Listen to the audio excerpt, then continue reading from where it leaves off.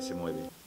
Hace una fecha, Pablo Mori, organizador de este evento, me pidió que hoy estuviese aquí haciendo el paseillo junto a los dos protagonistas de esta exposición, Adrián de Torres, matador de toros, y Juan Antonio Rodríguez Salazar, fotógrafo. No tuve excusas y aquí estoy.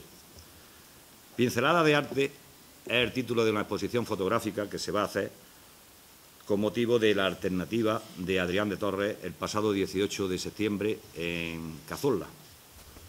Nace de manos de un fotógrafo joven y artista, natural de aquí de Linares, y aficionado a la vez del arte de, la tauromaquia. Como decía, todo surgió a partir del 18 de septiembre, cuando Adrián de Torres se convertía en el vigésimo matador de toros de esta buena tierra como es Linares. Su alternativa sería lo que motivara a este joven fotógrafo a intentar plasmar con su cámara en ristre todo lo que aconteció en ese día tan importante para Adrián. El concepto que tiene este joven fotógrafo de la fotografía taurina es muy particular, como a continuación él mismo nos dirá. Él, con su cámara de fotos, busca en el protagonista, en este caso Adrián de Torres, lo que desde el tendido tal vez no veamos el aficionado. Plasma esa expresión, esa tensión, esa concentración que el torero tiene desde que se viste de torero hasta que llega de vuelta al hotel. En una palabra, no hace ver el valor del protagonista y la belleza del momento. Eso también es arte, que quedará reflejado para siempre. Pincelada de arte no muestra, sino insinúa esos detalles que, sirven, que se viven en la plaza, no solo cuando el torero está delante del Estado, sino aún más, en el cara a cara entre la vida y la muerte. Pretende retratar el alma del protagonista, o lo que es más, el alma de la fiesta. Cuando se fotografía en color, se fotografía el cuerpo. Cuando se hace en blanco y negro, se fotografía el alma. A continuación, les paso el por qué surgió esta idea fue, eh, ¿por qué no traer lo que sucedió allí en Cazorla, aquí en Linares? Se aprobó la idea cuando, viendo las fotos de camino, le, dije al tío de Adrián, a Pablo, digo, Pablo, ¿por qué no hacemos una exposición sobre la alternativa? Porque yo, personalmente, yo creo que se merece, se merece eso. Hablando con Adrián, hablando con mi tío Paco, surgió la idea, buscamos las fotos idóneas, eh, buscamos los títulos y dándole forma y forma se, elige la fecha 20 de enero. ¿Por qué 20? Adrián es el matador de toros número 20 de la ciudad. Y qué mejor día y qué mejor número de, de día que el número 20.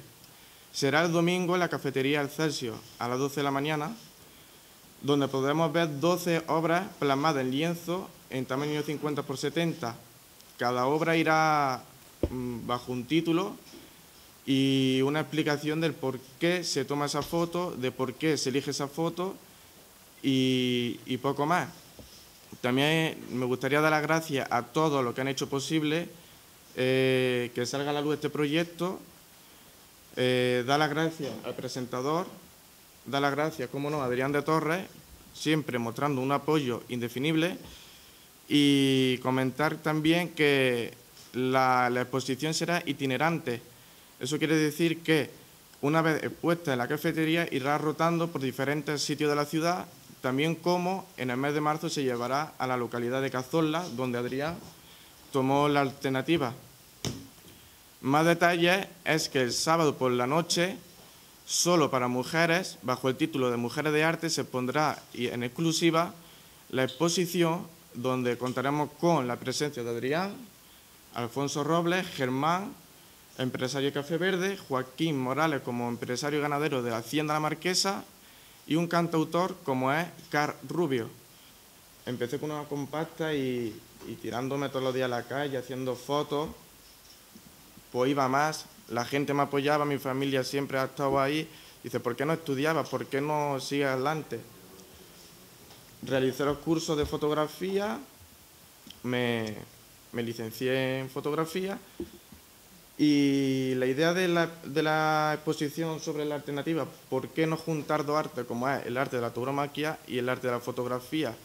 A lo que saben de esto, bien saben que la fotografía se considera como un arte y si ya juntamos el toreo y lo que es el arte y buen hacer de Adrián, yo creo que se juntan dos palabras calables que, que se puede que se puede exponer y dar una joya visual a todo lo que a todo lo que le gusta en este mundo.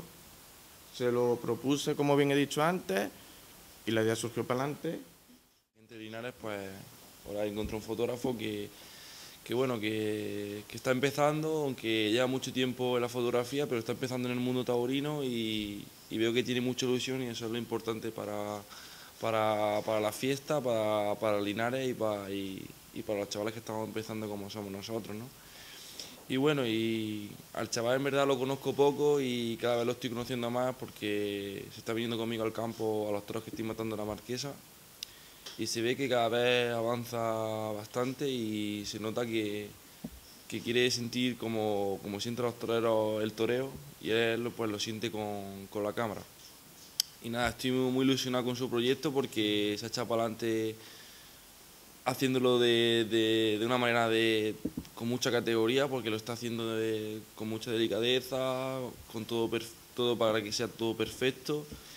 Y bueno, lo importante, y lo vuelvo a repetir, la ilusión. Espero que, que el día 20 pueda haber bastante gente, porque me haría mucha ilusión, sobre todo gente de Linares, y sobre todo el día, el día 19 que pienso que está más importante porque solo va a ser nada más que para mujeres y pienso que las mujeres también son parte de la fiesta y, deberíamos de, de apoyarlas para que, para que vayan a los toros. Gracias.